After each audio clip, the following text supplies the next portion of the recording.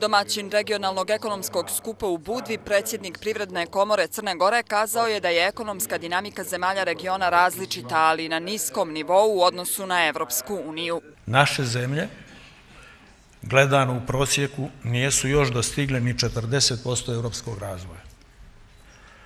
Tokom posljednjih deset godina region je rastao prosječnom stopom od 1,4%, a Evropska unija od 1%, što jasno govori da ako region ne ubrza rast, dostizanje evropskog nivoa ne možemo ostvariti. A da bi to bilo moguće, neophodno je udruženo regionalno djelovanje, saglasni su ekonomisti. Podpredsjednik Crnogorske vlade kaže da je Zapadni Balkan uvijek bio interesantan trgovinski čvor ostatku svijeta, ali da investitora ipak nema dovoljno. Međudržavna saradnja, politička stabilnost i ekonomske reforme su osnovni preduslov rasta investicija Zapadnog Balkana. Iz Komiteta za istočnoevropske ekonomske odnose objašnjavaju kako su recimo njemačke kompanije poznate po temeljnim procjenama prije donošenja odluka o ulaganju.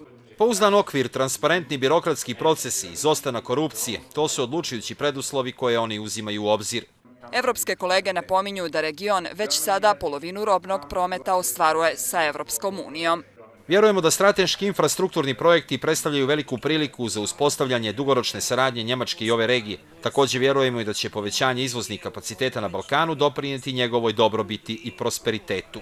Gostima se obratio i predsjednik države koji je ukazao na posvećenost Evropske unije zemljama Balkana kroz unaprijeđenje saobraćajne infrastrukture i boljeg korišćenja resursa, prije svega u oblasti energetike. Za to je ponuđeno povoljno finansiranje i iz državnih iz evropskih fondova i banaka.